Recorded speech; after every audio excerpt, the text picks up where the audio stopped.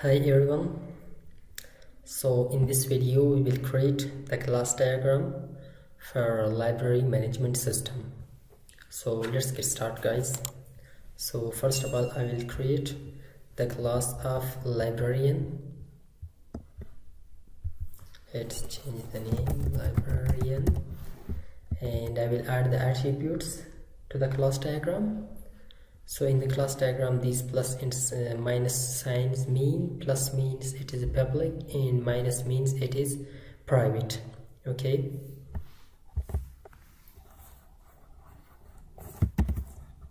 First will be id which is in type and name.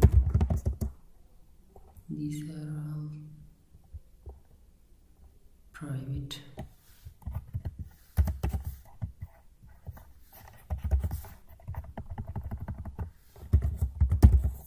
name is string and also username password.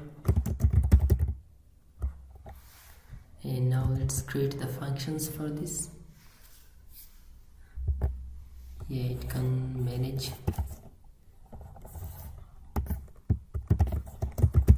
manage books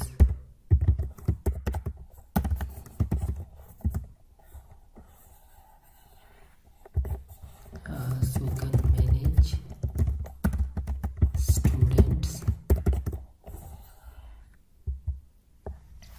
so now let's create the class diagram for student.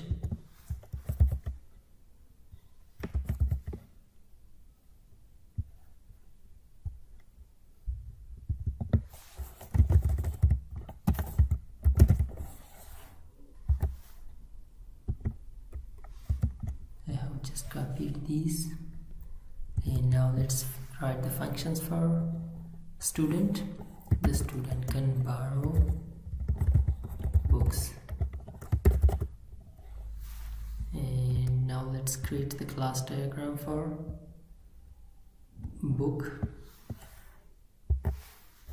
Yeah let's create class diagram for book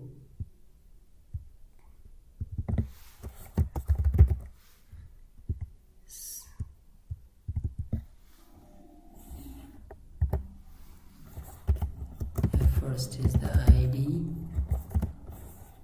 and title and also description. Also the publisher.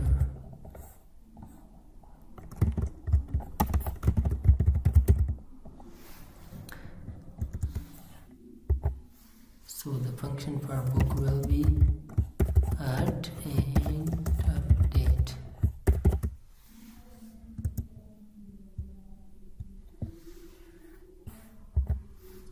so now let's create the relationship between them so okay. A student yes a librarian can um, add or manage the books uh, more than one and a book will be uh, borrowed given to a student or managed by uh, a librarian. And also a student can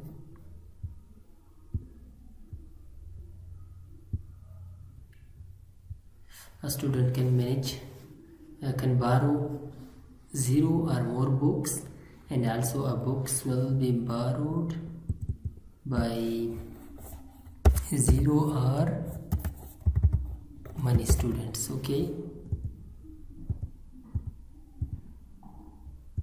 Zero or many students.